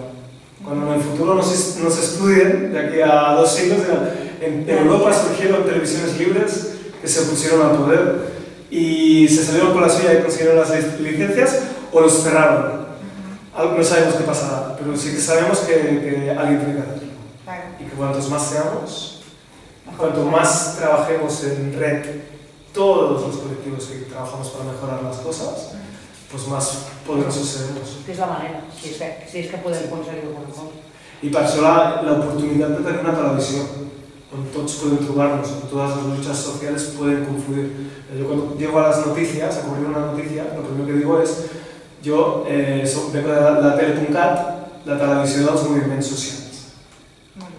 I llavors la persona ja m'escolta això i, i hi ha gent inclús que, que passa de llarg i quan sent la tele.cat es gira i ve a parlar amb mi. Claro. Imagina't. Sí, es que yo me recuerdo cuando estábamos allá a, a lo del Prestige, que venían las teles a, a cubrir noticias, es que, es que la gente le daba la espalda siempre a, a todos los medios, porque solo contaban tonterías, o sea, si hubiera habido ahí la telepulcato, no sabía Sí, jo jo volia fer, ja que avui estem, jo estic disfrutant perquè el que m'agradaria és que sempre les reunions fossin així tan participatives. A mi m'agrada molt, jo crec que és molt Més que, interessant. més que, Més que la direccional. Tendència, sí. que aleshores jo voldria plantejar tres coses respecte al tema econòmic, que Sí. sí. que és molt important. Sí. Eh, hi ha tres exemples que us vull informar, potser ho sabeu. Un és Cafè Llet, que heu comentat. Resulta que a Cafè Llet els van posar una multa de 10.000 10.000 euros, que no han, encara no els han No, pagat, però que a l'ajut del dir això eh, van tenir una idea Ah, de, crowdfunding, de, de, fer, de fer Una recolecta. una Sí. recolecta i van superar els 10.000 Va, Carai, Han que superat. no darrere. I aleshores mm, la seva postura, això encara està pendent, si, si ho pagaran o no ho pagaran, no ho han cobrat encara, però hi ha gent que s'ha compromès. En canvi, la Caixa s'ha retirat la publicitat. Ho sabies? Em sembla perfecte. em sembla perfecte. Però vull dir que hi ha aquest tema. I ara que Fender he rebut un mail que m'han informat de que Llet s'ha proposat fer una, eh, una, un, un periòdic gratuït superior quantitativament a l'avantguàrdia. És a dir, que... A diari? Sí. No. Bueno, Sí, no, un mensual o que sigui. o setmanal, setmanal, em sembla, reduint pàgines, evidentment, i això... Una tirada superior als 250.000 que s'ha... 145.000 exemplars. Ah? Quatre números de 145.000 exemplars. Exactament. Hi ha una acció a Vercavi de Exactament. Vale, recordatòria. Però, però és que ja ho han superat. És a dir, que ara s'estan plantejant si només això només ho, havien previst per quatre mesos i com que ho han superat, diu que potser ho faran quatre mesos més. No? Vull dir que el tema, el tema aquest de... De les xarxes socials. Hi ha solidaritat. Sí. Hi ha un altre cas que és Documenta. Documenta és aquesta... aquesta llibreria. aquesta llibreria Està a punt de plegar. doncs no, doncs ho va fer, ho vaig llegir, que sí, és amb el suport popular de que aquesta, aquesta es traslladarà perquè em demanava, jo soc amic d'aquests psicòlegs, els conec, vull dir, els meus socis, i vaig estar-hi parlant amb el Lluís Capdavanana, primer que ell fa, que ara farà 65 anys, Sí, però és no de la vol- no es vol jubilar de la perquè, perquè disfruta, perquè té una feina que disfruta, Es segueix. com, com, com tot ells, no? I, i, També no té disfruto més, a vegades. i em va dir, eh, bé, la gent, el dia que ho vaig proposar, cap em va dir, jo t'ajudaré, però immediatament em van començar gent que venia, em anava, mira, jo et dono tant, em va dir quantitats, però no les volia dir, eh, tant. I després, via mm, els, els pobrets que vam, que vam donar el que vam poder, doncs han superat també el que necessitava. Vull dir que la societat estem necessitats d'aquests moviments que vosaltres porteu i estem disposats a rascar-nos a la butxaca. Ojalà. No, però es tracta de que, de que ho diguem i de que, en fi, Sí. Jo, jo us recomano que entreu a la pàgina de Cafè Llet perquè està el concepte molt ben explicat. Pues ho comunicaré a l'assemblea. Sí, i després, amb, amb, la- amb la línia que estava dient ell, qui també ha aconseguit amb, amb, a través del crowdfunding ha estat el, el Diagonal. Vale. Sigui, també tenien una manca de... O sigui, amb, amb el tema de crisi, amunt i avall, doncs, I eh, de anarquistes. eh, aleshores també amb el crowdfunding han, han aconseguit, si tenien un dèficit de no sé què, han aconseguit d'alguna manera, doncs bueno, i així hi ha bastants exemples com molt interessants. El Eh? Sí que- Mercadi funciona molt, eh? Mercadi. Això dels microcrèdits. Sí, a veure, jo ho comento perquè igual ho podríeu mirar, Sí, sí, un no sé si... Suposo que ja suposo que no, aquesta iniciativa no els agrada gens dels mitjans, eh? perquè la pàgina denuncia les connexions econòmiques de tots els mitjans normals de Catalunya. Ja. Eh? I d'aquí no sé. Està, està molt ben La voz de l'algo. Va, dir, tu per conèixer... diu, les portades que no veureu mai en aquests diaris i que Cafallet es proposa publicar. Hi ha, hi ha uns estudis molt, molt macos del Manuel Castells, em sembla, i de l'Arcadi Oliveres, que, que troben molts exemples de, de desinformació, portades totalment manipulades a la vanguardia. No sé si heu publicat o heu fet eh, alguna informació respecte als últims aconteixements a Venezuela, per exemple. Perquè Ah. respecte a Venezuela és una de les informacions més manipulades És que és una cosa que es pot aguantar. És que no es pot aguantar. Jo, Um, diguéssim que aquí el que s'estan barallant és pel pastís del petroli i aquí tot es tracta de que els que estan allà fent la revolució el que és el petroli, els que els mitjans de fora el que és el petroli, allà tothom vol el petroli. No? I uns desinformen des d'un costat, els altres desinformen des de l'altre. Sí que és veritat, tot i que es pugui sigui criticable tot el que vulguis, però també és veritat que abans de la revolució bolivariana doncs, també hi havia molta fam i molta tampoc estaven bé les coses, vull dir, No, no, però és que fins i tot aquestes informacions de la fam i tot això són interessades. Penseu que amb els últims aconteixements aquests que diuen que van morir eh, alguns manifestants Sí. que van haver ferits, Sí. eh, via Twitter s'han fet, s'han publicat fotografies dient que eren de repressió de la policia xavista i eren fotografies de la policia xilena reprimint els Ah, manifestants. Pinochet. Fotografies de la, de la policia brasilenya reprimint els O sigui, manifestants. d'altres moments de... d'altres- Fotografies torturat paret d'ETA a Espanya dient que era torturat per la policia xavista. Una fotografia de la via catalana, de la, de la, de la cadena catalana, dient que això s'havia produït en protesta contra el govern de Maduro en una localitat veneçolana. Sí, sí. Tot això via Twitter, eh? O sigui que pensem també com les xarxes socials Sí. poden arribar a ser intoxicadores. curiós, sí, sí. Tant com, tant com les persones, vull dir que, que cada persona té una opinió diferent, no? Que les xarxes socials iguals, hi haurà moltes opinions equivocades i manipulades, i també tenim accés a més... El que passa és que potser tenim més oportunitat d'arribar a informacions uh, diferents, però també has de saber destriar més a de la palla, no? I ara, com hi ha tanta palla, doncs és, és difícil trobar els És que la dreta també utilitza les xarxes socials També. pels seus interessos. Aliança més. sense anar més lluny, totes les que trucat amb la NSA, l'espionatge a través del Google, del Facebook, del Twitter, de... Les, les, propis, les pròpies xarxes socials estan controlades per la policia secreta dels Estats Units. Sí, és com... No, jo a vegades estic llegint una informació, no una informació i penso, a veure, això uh, m'ho puc creure, no m'ho puc creure, perquè clar... Qui ho diu, amb quina intenció? Clar, eh, i l'exemple és, és d'això de Venezuela també, perquè l'altre dia vaig, vaig trobar una informació de grupos anarquistas de Venezuela que hablaban de todo lo que estaba pasando y daban su punto de vista y yo pensaba, vale, sí, ah, me lo puedo creer y no, y bueno, y no, y, o sea, no sé con qué quedarme, ¿sabes? Ya. Muchas veces, porque dan otro punto de vista, que dicen que bueno, que ni el Maduro, que los otros tampoco, que, que ah, bueno, yo que sé, que, que hay muchos problemas en Venezuela, que, que son muy dicta- que es una dictadura, en fin, también hay esas informaciones. ¿eh? Y no sabes qué hacer. A lo mejor piensas, a lo mejor es una info de la derecha que se ha disfrazado de tal para, para poder decir esto. El caso de, el caso de Venezuela y, y de Ecuador. complicado. Bueno, es lo que hablábamos antes, de que to- todos son canales privados controlados por bancos. No hay televisión pública, porque esto es una cosa que ha habido en Europa, pero no hay. En Estados Unidos hubo, pero ya cada vez hay menos. Y bueno, en estos países, pues claro, de que haya una revolución que implante un canal público, eso es importante. No- ya sabemos que va a ser el- la tele del Estado, como cualquier tele pública, pero, pero bueno, es interesante una tele que ya dé las informaciones no desde el punto de vista de los bancos. ¿Qué cambio puedes esperar en un país como Venezuela o como Ecuador cuando los bancos, que son los propietarios de la mitad, bueno, de la mayor parte de la economía, y encima poseen el control social a través de los medios de comunicación?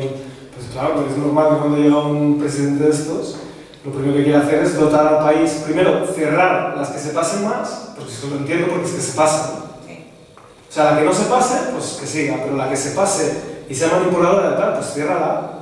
No es ir contra la libertad de información lo que está haciendo Correa, no.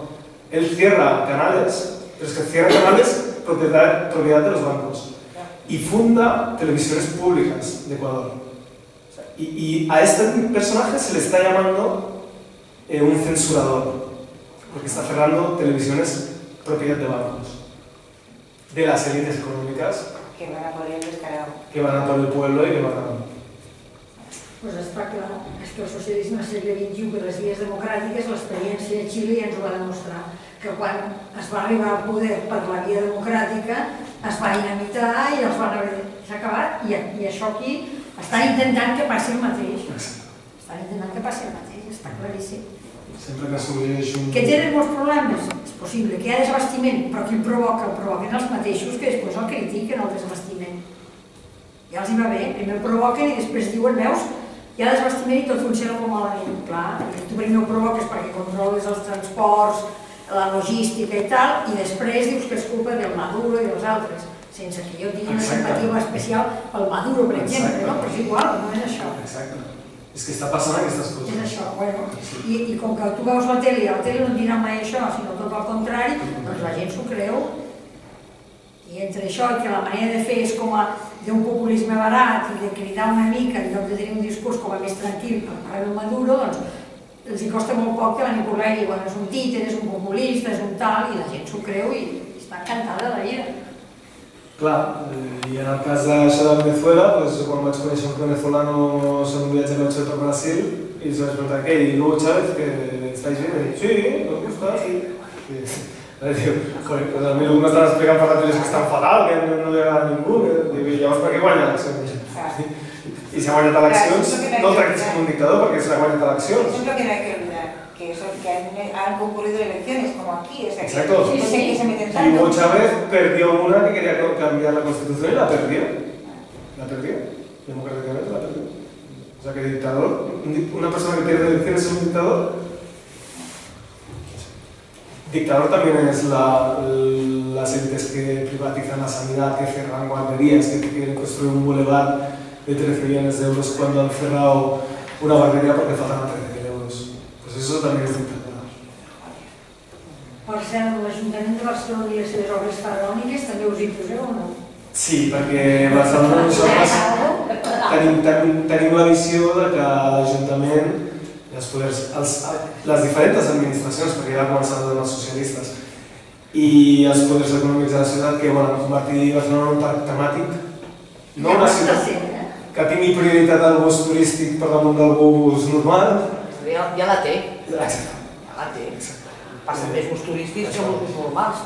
Ja ara s'han inventat això del canvi de parades i no sé què dels horitzontals i verticals del diagonal i ja la cosa és molt buena. I me dona la impressió a mi, a mi em dona la impressió que només no passa això només a Barcelona, sinó que passa una mica en tots els ajuntaments, que no saben com, no saben com pues, fer-se diners i, i estan tornant a pensar com van a crecer construyendo no sé qué, construyendo no sé y en todos los ayuntamientos en mi pueblo pasa igual. Volen tornar a crear espe- especulació, volen Sí, tornar sí, a fer sí, sí. reflotar els... Están pensando en eso y, y lo están intentando hacer por todos los medios, como Gamonal, como...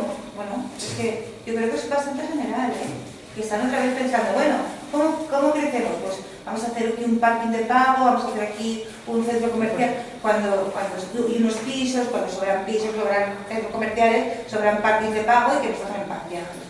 Pues, bueno, pues siguen. Es una ciudad que no, que no, que es- las autoridades evidentemente tienen que cumplir el papel cubrir una serie de servicios y de rentas básicas y de, pero es- está claramente enfocada la ciudad cada vez más hacia la economía y, y el negocio turístico y la, no sé, todo lo que es toda esta especulación. Y no se pone en un primer plano lo que tendría que ser el ayuntamiento, que es una institución al servicio de quienes la pagan, que son los ciudadanos. Y si los ciudadanos quieren una guardería, pones una guardería, no se la cierres. Y el hotel que queréis construir ahí, al, al ciudadano, ¿qué le importa el hotel ese? Y si tenéis déficit, cogéis todos los ayuntamientos de España, os juntáis y le, le exigís al gobierno que, que cambie las cosas, que cambie la, la, la- cómo, se, cómo, cómo, se, Financiamiento. cómo se hacen los presupuestos, que den más presupuesto para los ayuntamientos, que son los que te dan más servicio a la Sí, pero eh, volvemos otra vez que el gobierno central lo que acaba de hacer es la ley de administraciones locales, Sí, que aquí ha, vaciado de poder Exacto. las administraciones locales y las ha recentralizado. Sí, sí, sí. Estamos volviendo a los tiempos de la, de la gran y libre. Sí, sí, sí. Jo, jo, jo voldria fer un... que és una cosa que aquí ja ho saben, que sempre repeteixo, i és que mm, aquí continua passant el mateix, és que sempre ens ho han de fer els altres. És a dir, que aquí hi ha dos, dos, dos temps, dos temps, que és el jo i el ells. I l'hem de canviar per el jo i nosaltres, o millor, millor dir nosaltres. La crítica està en que aquest sistema no està en crisi.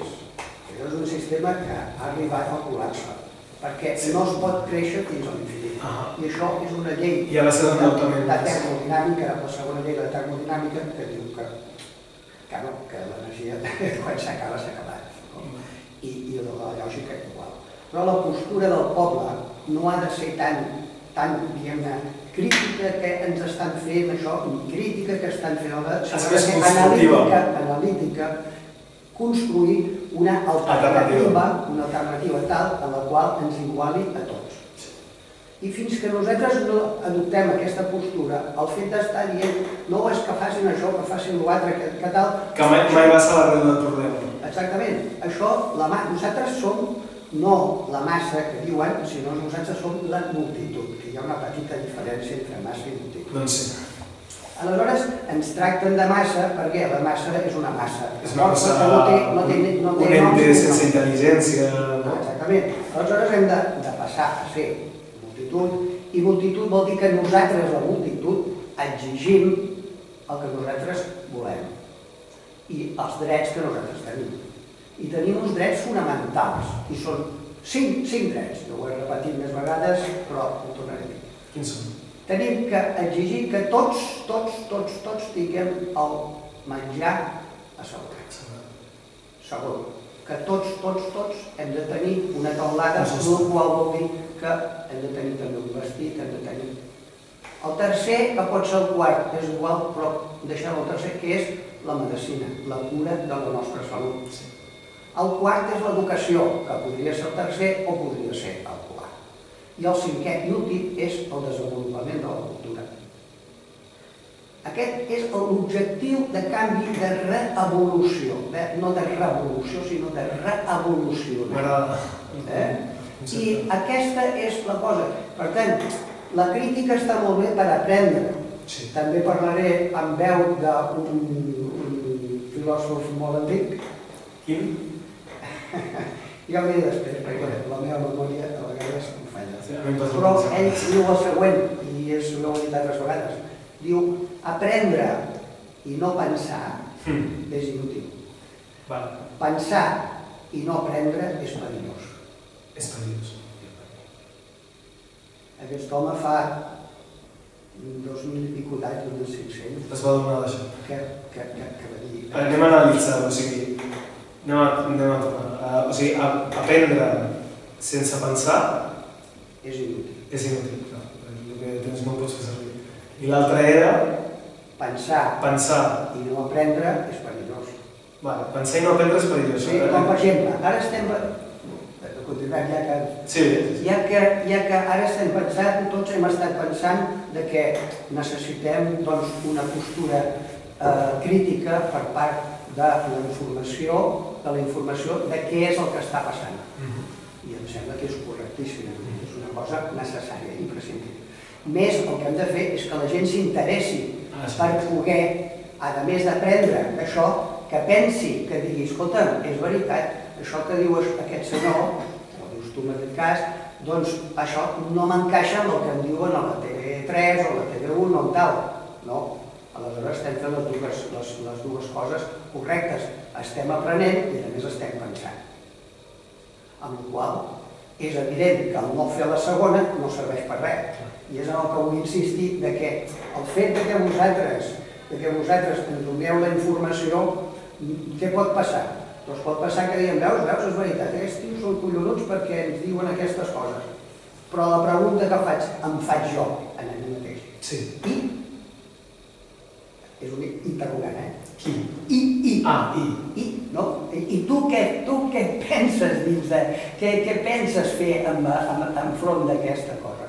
I aquesta és la unió, l'evolució que hem de fer, doncs la gent que estem més o menys comunicats, més o menys eh, amb, amb, amb, amb, amb situació crítica, enfront a una cosa que, esclar, és aquest paradigma mm, despòtic, dit capitalisme, que tant se'ls infot si la gent es mor aquí o si el Txernòbil per allà, o el que sigui. És igual, a mi els interessa que tant se'ls infot que un 50% de gent estigui sense possibilitats de dignament guanyar-se el seu sostén. Tant És- se'ls infot. És una, és una falta d'humanitat i de falta de seny, perquè és el que, vostè, el que tu dius, les necessitats bàsiques haurien d'estar cobertes per tothom. Després, qui vulgui treballar més, qui vulgui, qui tingui més sort, qui sigui més creatiu, doncs normalment, bueno, doncs, però, però les coses bàsiques, escolta, és que si, si l'economia ja no t'està donant llocs de treball, no, les administracions no paguen aquests, aquests cinc drets que que has dit, Uh, quan el que deies de més que criticar, construir alternativa, alternativa doncs nosaltres precisament som mitjans de comunicació alternatius, construïts no amb la vocació de canviar, transformar els mitjans que ja existeixen, sinó de crear els nostres propis mitjans on poder, per fi, ser lliures i, i explicar el que no ens deixen o, o el que no ens donen prou difusió als altres. I que al final la, el ciutadà eh, després d'haver vist les notícies de TV3, que també està bé que miri, però, però que després pugui veure la nostra i vegi, ah, mira, aquests els de la TV3 no ens expliquen això. I, i és, és una arma, és un, un enriquiment, no? Això, això és la complementar des d'aquesta alternativa. I repeteixo, són totes. Jo sempre que parlo amb gent dic, podeu venir, podeu venir a portar un documental que heu trobat. Nosaltres tenim una secció de web que es diu Wikitele, que vos, vostès si, si troben un documental per internet que val la pena, creieu que s'hauria d'emetre, podeu anar a la Wikitele de la web nostra, de la tele.cat, i publicar aquest vídeo. Vull dir, o sigui, és que és més participatiu que això, vull dir que els propis, els propis televidents poden programar la tele.cat, perquè després aquesta Wikitele la mantén també en TDT. I al final el vídeo que tu has trobat per internet, que creus que seria bo compartir-lo tal, doncs l'acabem emitint en televisió digital terrestre per tota Barcelona i publicant-lo a la web. No? Però això és el que, vostè, el que tu dius, eh, alternativa, alternativa, eh, fer el que no faran ells, no? i el que algú ha de fer. I per lluitar per aquestes necessitats bàsiques, evidentment. És que de fet hi ha dos blocs molt importants, no? Un és que cada vegada tot està pitjor i l'altre que gràcies que cada vegada està pitjor la gent està despertant. Vull dir, hi ha, com, Sí. hi ha dos blocs, no? Que dius, si potser això no estigués passant, encara seguiríem agafats de la maneta que ens vagi important, però gràcies que ho fan tan malament o que es- estem tots bastant pringats, Sí. està ressorgint una nova forma de, de pensar i de sentir, bueno, a veure, de preguntar-te més coses. Vull dir, Ah. És com conviure en dos extrems, no? Mhm. Dos... I no només de preguntar-te de fer altres coses. I de fer altres coses. Fer altres coses. Perquè l'altre dia parlava aquí un noi que es dedicava a l'agricultura i parlava de la, de la, de la, l'alimentació, de l'agricultura. Diu que a, a tot arreu de, de Barcelona el- la- estan, estan sorgint nous urbans, per exemple, nous periurbans, diuen. Ah, això és un exemple, però hi ha milers d'exemples. Exacte. I són coses que fa uns anys, però ara els, els horts urbans és una iniciativa d'alternativa, no? De tornar a la sobirania alimentària, no? Lo de ocupar pues, també és una, una alternativa a la falta de futur. És una acció política, és ocupar. una acció política. Sé, El sistema no em deixa espai per, per desenvolupar la meva vida. Quina opció em queda més que ocupar? És que... Sí, bueno, si van bé les coses, potser acabar trobar una feina, poder pagar un lloguer, tal, però bueno, I no és per parlar una altra vegada del poble, però, però sí. Ara, ara hi ha una... està- Estàs campant molt, molt ràpidament els observatoris dels, dels pressupostos exactament. Fan unes webs, fan, les noies i els nois fan unes webs on es presenten els, els pressupostos de tal manera que s'entengui, perquè això és el primer pas, Clar. que els, els, els pressupostos que presenta l'Ajuntament no s'entenen. no s'entén. I aquells fan un desglose, fan uns cuestitos i, i, i tu piques allà i veus perfectament què està fent el teu ajuntament amb els diners. Sí. El teu poble quin és? Eh, la Sant Cugat. bueno, però això ho fan des de la, des de la floresta, no des de Sant Cugat, eh, que és molt diferent, perquè Sant Cugat és una mica més Jo em vaig criar a la Floresta. Una mica molt. Sí, però la floresta no, és tota la floresta. Jo soc de la Floresta. Ah, sí? Però ara visc a Maresmes dels 19 anys Ah. i al poble del costat, al Masnou, Sí. un home fa uns mesos es va, va reclamar a l'Ajuntament i li passés una còpia dels pressupostos. I aquest es va anar perquè no estava acostumat a, a facilitar aquesta informació. No? sí. Però per llei estan obligats. Clar, Sí, sí, està no. clar, el que passa és que fins ara no han hagut ciutadans que anessin als ajuntaments, o potser no ho volien. No, no, es queden... Ara l'important és que a cada ajuntament hi hagi gent anant a buscar els pressupostos. No han de controlar els, els directius de la salut pública a quina hora entren, a quina hora marxen. Que això ho demanen els de Cafentet. La ciutadania hem de ser periodistes, tots hem de vigilar, hem de col·laborar entre tots per defensar el nostre. I no només vigilar, que també, que està molt bé, però el que diu el, uh, que fer coses sigui... Pues, ara ens desenvolupem i fem una cooperativa de consum, ara ens desenvolupem i fem, uh, jo què sé... I funciona, no? Sí, sí. Funciona. Y eso que te digo, bueno, pues ahora nos han ofrecido una casa para poderla ocupar, pues bueno, pues vamos a meternos ahí, vamos a hablar con la gente a ver quién necesita una casa, y ahí pues hay un centro social, lo que haga falta. Lo que se pueda. Que Y, y estos que me decías de los proyectos estos, eh, ya conozco varios barrios de Barcelona, la Sagrada Família, Gràcia, on a l'entorn d'un local o d'un bar hi ha diversos socis, paguen, no sé si són 10 euros al mes, i, i cada setmana tenen una, un bàsquet, una canasta, eh, de- una cistella plena de productes ecològics, que a més fan un servei per a aquests productes ecològics, perquè aquestes cooperatives doncs, són potents a l'hora de... Doncs, són 50 persones que fiquen diner i al productor li interessa que li vinguin aquestes. I cada cop s'està sortint, no?, de, del, bueno, vamos al Mercadona a comprar los vegetales, pues no, no cal anar al Mercadona. Ara tenim comunitats que ens proveïm de... Doncs, això és el que deia aquest senyor, no? Vull dir, construir des d'on no ens estan construint ells. Doncs llavors ho haurem de fer nosaltres. O el més senzill, que és 5 joves, 7 joves, 10 joves que se'n van a viure junts, bueno, pues, això també és important. Sí. Perquè s'ha d'aprendre a conviure, s'ha d'aprendre a compartir, que els nens nois no tenen de clar. Això tan senzill ja està canviant moltes coses. També, per exemple, nosaltres l'ambient que tenim a la tele és un ambient molt de, de cadascú compra menjar, cada menjaran en aquella assemblea, doncs algun dia el detall el tinc jo, un altre l'altre, és un esperit comunitari. Clar, exacte, i això mola molt. Sí, no hi ha jefes, no tenim jefes. Sí que és veritat que tenim persones de referència, Sí. Per exemple, la persona doncs, que s'ha ocupat d'un programa des dels últims anys, evidentment és líder i és, és referència, perquè té, té una informació que ens ajuda a tots. a- Però no hi ha jefes jeràrquics, diguéssim. Hi ha jefes, de, evidentment, si ets de les persones més actives, evidentment, doncs és veritat que sí que tens un, una legitimitat per dir no, això millor així, això, conforme participes més. No? Pero no hay un, un jefe que por sus renglones, eh, pues yo te mando a ti y... No, això no. Eh, en totes les, i t'adones, com- comences a aprendre que en totes les comunitats aquestes que es munten, uh, més, més fortes, més eh, elàstiques, però que s'està reflexionant sobre això, no hi ha jefes, dius tu, però hi ha un que sap més, bueno, doncs un que sap més que està compartint amb vosaltres tot el que sap. Clar, és això. que el podem ajudar, ens pot ajudar ell i és una mica... és, és el que s'ha de respectar. I esperit així d'ass- assembleari, vull dir, de, de que tot, tots podem participar, tant, no, hi ha, no hi ha, per exemple, què, què passa en els mitjans de comunicació normals? Que hi ha una cúpula de directius, moltes vegades pro- propera als partits polítics o a, o a certes multinacionals, Sí, sí, la majoria. I després una plantilla de treballadors que no tenen ni veu, ni vot, Ni res. ni res. Nosaltres, des del primer fins l'últim, compta la nostra opinió, podem participar a l'assemblea, si podem dir això no em sembla bé. I allà no, quan hi ha una, dins de l'assemblea hi ha algú que s'oposa a alguna cosa, allà no fem això de que, ah, doncs com la, la majoria diu això, doncs fem això, no. Allà ens quedem una mica discutint fins que sortim de la situació i si realment aquesta persona ha de fer la seva, valer la seva opinió davant de tots, doncs potser a vegades pot guanyar. Perquè potser el que diu ens fa recapacitar els altres, no? Però mai es sentirà aquesta persona que, ai, perquè jo soc minoria i els altres són majoria, doncs mai podré guanyar. No, no. Si ell el que diu, els altres veiem que sí, doncs potser es farà el que diu la minoria. És una cosa que no soluciona les nostres democràcies. Això és un canvi, és un canvi, una cosa és ser jefe, una altra cosa és ser responsable.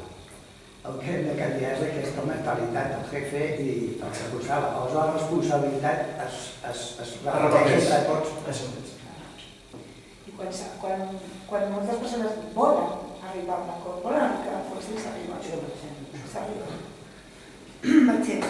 Era el, era el Confuci, eh? Ah, el Confuci. Ho deixem aquí? Fantàstic. Moltes gràcies. Moltes gràcies a